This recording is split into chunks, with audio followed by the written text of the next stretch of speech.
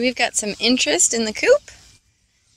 I've actually had three of the hens lay eggs in it today, which was awesome.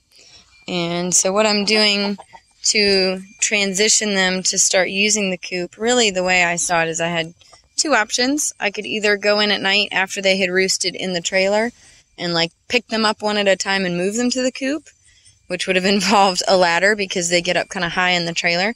Or what I opted to try is I just closed up the trailer, but I moved this coop right where their normal kind of access point was. So, Storm, get out. Leave them alone.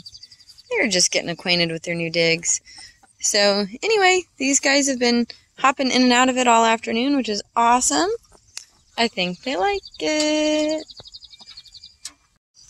Coming to check on these guys and see how they're figuring it out. It looks like several of them, if not most of them, have roosted. There's like these three out here that are a little confused. And I'm not sure where the chicks are. The chicks aren't roosting yet. Let's see. How many are in here?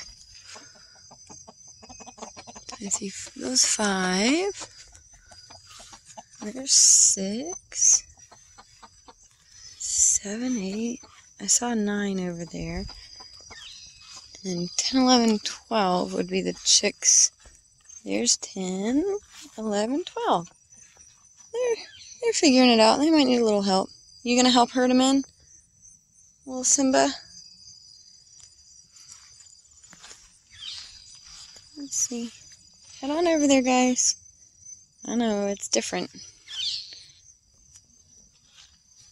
We'll see. See if they can get it on their own. They're not totally dumb. Sometimes. They're usually pretty smart, though.